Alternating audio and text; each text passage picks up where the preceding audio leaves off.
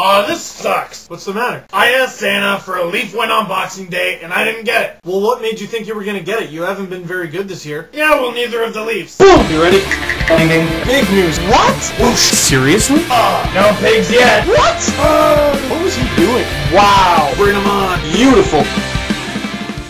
Leafs lose 3 to 2 in overtime ugh, against the Montreal Canadiens. And if you want to talk about throwing away a game early, the Leafs had a Boxing Day sale. A wild Luke Schenn stick led to a Montreal power play goal to open the game, followed by a giveaway and poor defensive coverage not even halfway through the first. It's a 2-0 game Montreal. I mean, Gustavsson's a good goalie, but he's not a miracle worker. And despite getting down 2-0 early, the Leafs do make a comeback. Ian White makes it 2-1. That's goal number 7 on the year for number 7. How about the offensive season Captain Mustache is having? Shaken Blake ties the game 2-2 with a little help from the Habs. They decided to go Blake bowling and pretty much chuck him into the net. Ah!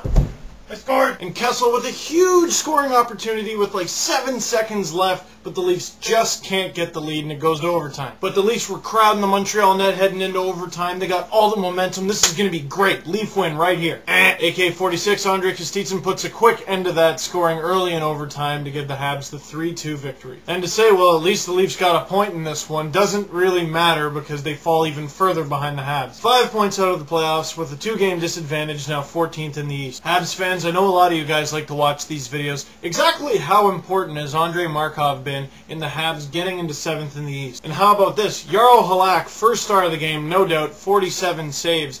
Do you like having Halak and Price as the tandem, or do you want to trade one of them? And in terms of getting back into the playoff picture, Leafs fans, what do the Leafs do? Better question, what can they do? Trading away more picks wouldn't be smart. Unless there's picks coming the other way, there's no point in taking on more salary. What options does Brian Burke really have other than change of scenery trades? He's basically got to hope for these guys to get better on their own.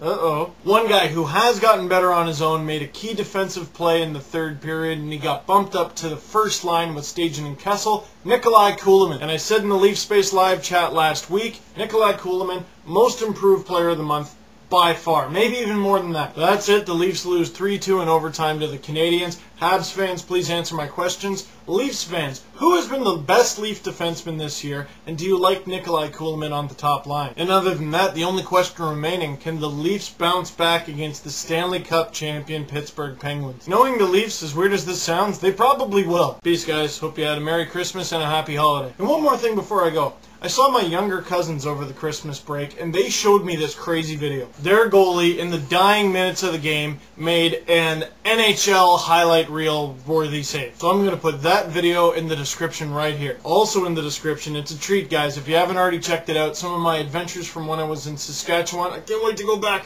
with the Canadian World Junior team. Uh, I interview a bunch of guys. Uh, Patrice Cormier puts me in a headlock. There's tons of new pictures. Check it out. I mean, it's not like it hurt or anything. oh, come on.